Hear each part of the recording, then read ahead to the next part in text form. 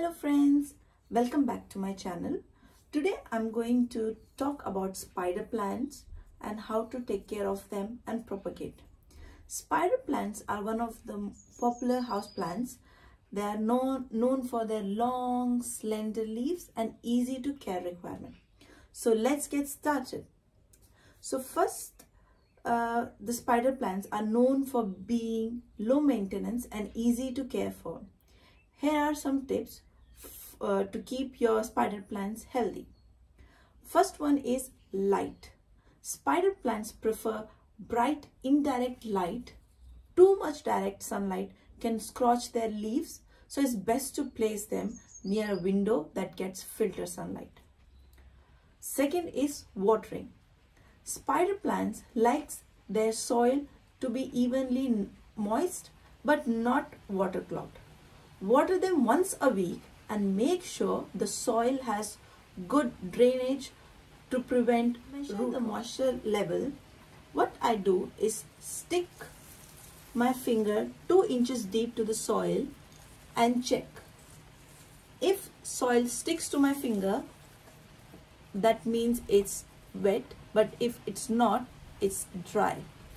I also use this moisture meter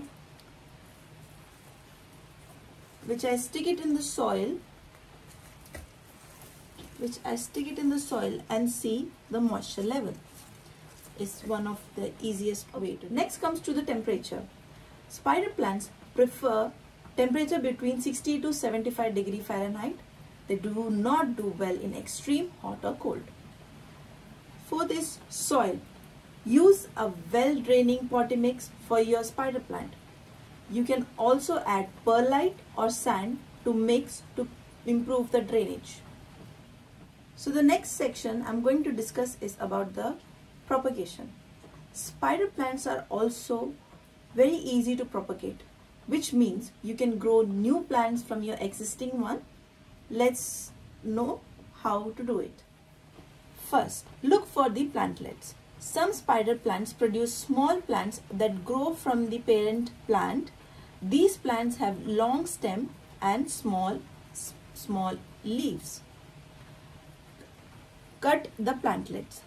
Once the plantlets have grown to decent size, cut them off from the parent plant using a sharp scissors or a knife.